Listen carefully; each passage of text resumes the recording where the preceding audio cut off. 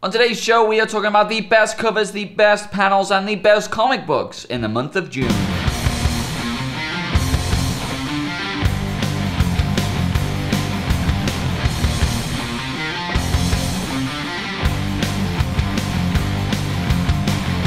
Okay, we are back in one of my favorite segments. Oh, yes. And tell you something I like about this segment is that by the ads, No, you can take a guess. We it's so Marvel so often. That's true. You have four books, which concerns me, but we'll get to that when it comes to it. Um, Oh yeah. they were no, no, they were just sitting on the side. Oh. Sorry, no, it's, it's not supposed to be four. I know it's okay, one it's fine. fair enough then. Yeah. So the first thing we are gonna, as always, we don't know. No, don't I don't know who's what you picked. You Don't don't know what I picked. We're gonna talk about the best cover first. We are going to talk about the best cover. What have you got for best Um, cover? First of all, can I say Yes. an honorary mention to last month FF number seven because I didn't get it until this month. I thought it came out this month, and it didn't. Came out last month, and it was outstanding. Lovely. This this month's FF cover is nothing to be scoffed at either. No, definitely not. But that last one was that was special. Um, okay, so this month's cover is a book that's been featured on here many a time. Not been featured in a while. Uh, Thor. Heyo. Number what is it? Nine? I can't believe this book's up to only issue nine. It's been so outstanding, and this cover with the three Thors finally coming together was just absolutely fantastic. twelve. What? what? What? Carry on. Did you? Did you? Oh, you two got it. It's just me. Three fours finally coming together. It's nothing. Don't worry about it. Ah, it's a maths Don't joke. worry about it. Maths Maths jokes. Um, yeah, Esad Ribic's been absolutely. He's, He's sad. I always to It's say. been Um, six months since you've got that wrong. off, have your whooping cough again. Uh, uh, he's he's done an absolutely fantastic job with these covers, and this is, I would say, his best to date. So that is my cover of the month. What is yours, good sir? My cover of the month I don't have with me because I'm buying it in trade, and the reason it was stuck out in my head as cover of the month is because I saw it in the shop and I was like, oh, I hate that I'm not picking this up. What was the noise? Oh, One more Um, time. Oh, And all together? I don't go- Ah. Good. Uh, X Men number two. Like, I've made no secret about how much I love it. You just have no idea to gauge this. You just don't know. So Alright, yeah, um, sure. You they will know because lovely Stephen will be putting it up on the screen right now. Alright, Um, sure. I love Jubilee, and this cover, like, it just reminds me of why I love the X Men. Yep. It just feels very Coronation Street. It feels, so, you know, what, but you know what I mean. It feels like everyone's in everyone's business, and it's kind Yeah. of soapy, and it's Ah, very you cool. right there, Logan. And- ah, not too bad, Jubilee. Not too bad. Just heading down to the cafe, get a bacon pie. the thing is, no American Sure. American viewers like what if like, and if they Google it, it's just a minefield. Oh my god, Google. Go and watch Corrie. That's supposedly what we from up north are like. Their soaps are much worse. Anyway, so uh, you know the yellow, and it's just very colourful Yeah. and pretty, and it's standout-ish, and it's one of those that when you walk into the shop, that You're that's like, where your eye goes. That's Fair. exactly where your eye goes. So I just can't wait to read that whole book. I love the inside of the first one as well. So Fair. that's my cover. Okay, favorite panel of the month. Uh, mine's is from Thor again. Uh, this book was outstanding. It's not spoiler. It's not. I mean, it's pretty much reflective of the cover. Look at that. That's just outstanding. Double page spread. You finally get them all going into action together with the little caption at the top saying, Then struck Thor with the fury of a billion, billion storms. Mm. Like, just epic, epic. There's. Is it about Jason Aaron you dis- revolutionary, revolutionizing these characters? Like, if you haven't read his Incredible Hulk run, It was incredible. It is. it was. It's just one of those things where it's like you've never seen this character this way before. He taps into things which you think, of course, Hmm. of course, that character should have always been written like that. Yeah, definitely. And uh, Thor is no exception. Like he's had an outstanding job on this book, and my god, this cover. Like, I mean, my god, this panel is just like I I made a ridiculous noise when I saw that of just like okay. What was that? Okay, noise? here we go. It's it's uh it's definitely not one I can replicate again because it was that weird.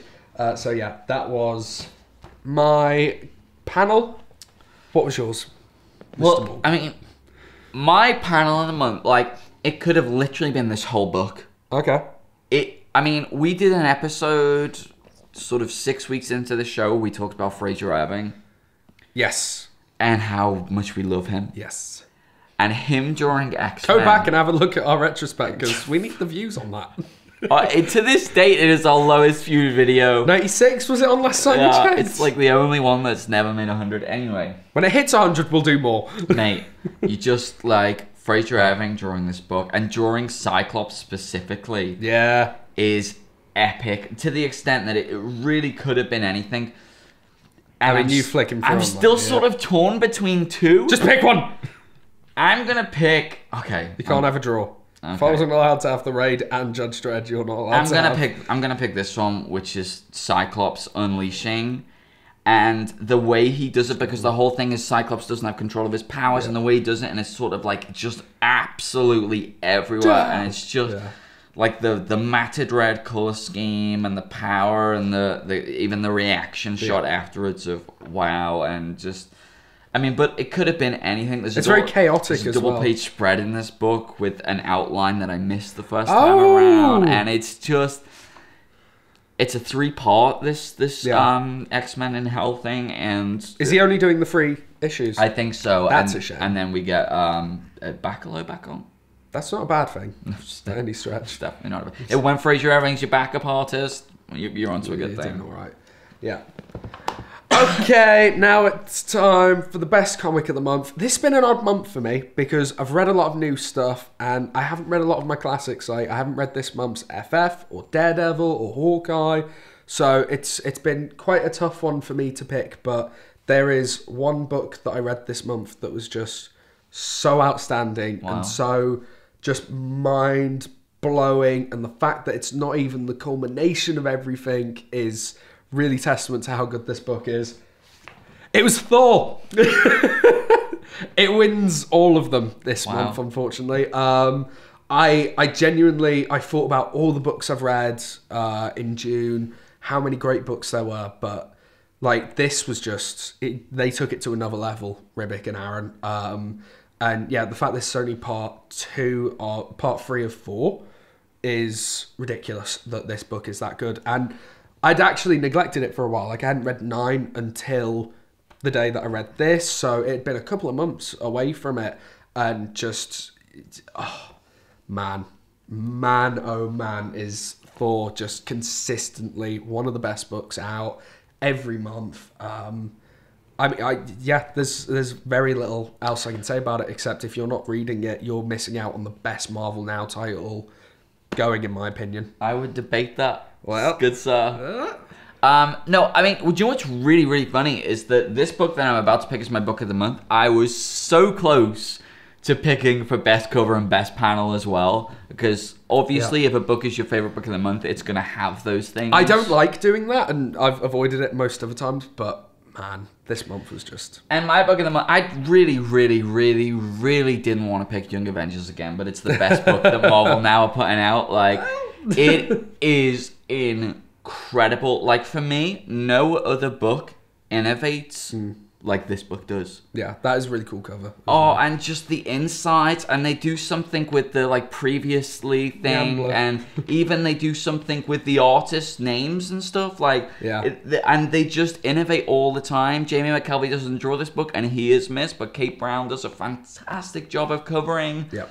Um, they introduce a villain in this book in a really brilliant, terrifying way, and he has. If you've read the previous Young Avengers, then he has, you know, he's, he's reminiscent and tied to that era, but it's also completely new. He introduces two new characters deftly. Some of the double page spreads and just some of the uses of art. There's a um, there's you know he did he used uh, it's all about like kind of temp jobs and stuff, and the way he shows monotony is fantastic.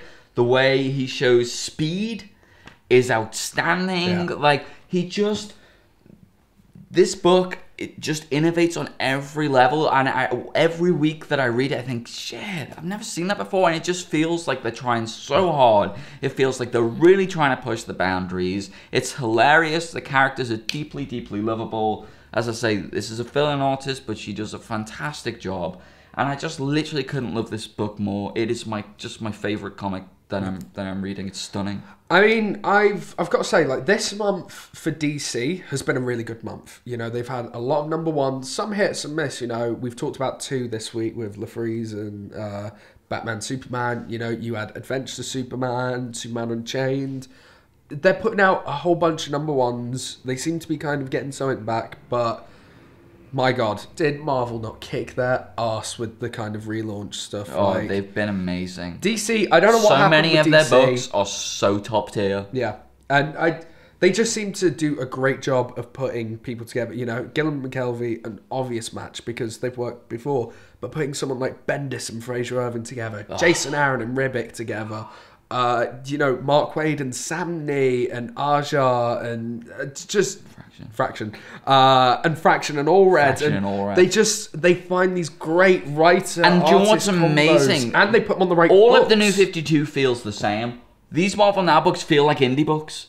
They feel like independent books where they just get to play Yeah. around with the medium and be yeah. fun and entertaining and switch things up. It's amazing. Yeah, no, it's it's it's absolutely fantastic. they're they're really pushing the boat out at the moment with trying to find.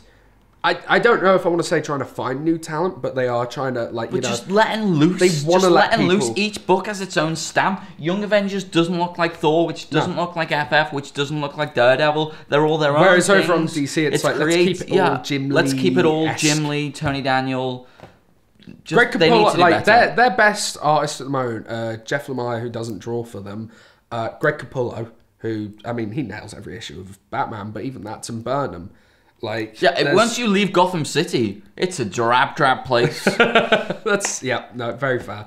Uh, okay, brilliant. Uh, so that was our favorite books of the month. We love seeing what your favorite books are, so please put them down in the comments below. Indeed, you can also let us know on Twitter. It is at Comic Book Show One. But until then, we will see you next week. Ah, it's a math Don't joke. worry about it, maths Maths jokes.